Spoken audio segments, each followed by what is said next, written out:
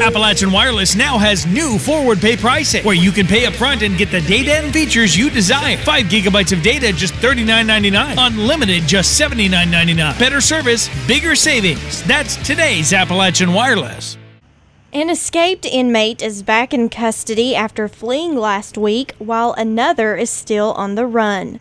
24 year old Brian E. Olson of Sandy Hook was returned to the Big Sandy Regional Detention Center Tuesday. Olson was in jail for a parole violation. Now he is charged with second degree escape. Olson and 30 year old Jeremy R. Boggs, also of Sandy Hook, were signed out of custody Thursday morning by Johnson County jailer Doug Saylor. The two were last seen around 3 o'clock that day.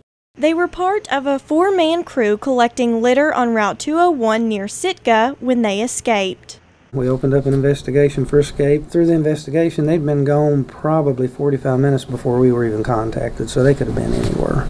Olson was found and apprehended on Ison Road in Elliott County near Sandy Hook.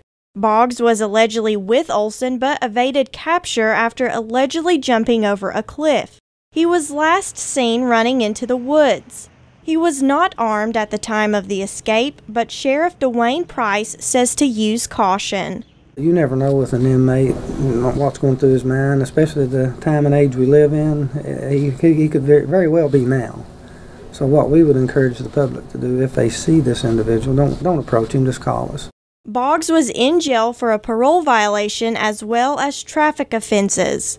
If anyone has any information on the whereabouts of Jeremy Boggs, contact the Johnson County Sheriff's Office or local law enforcement.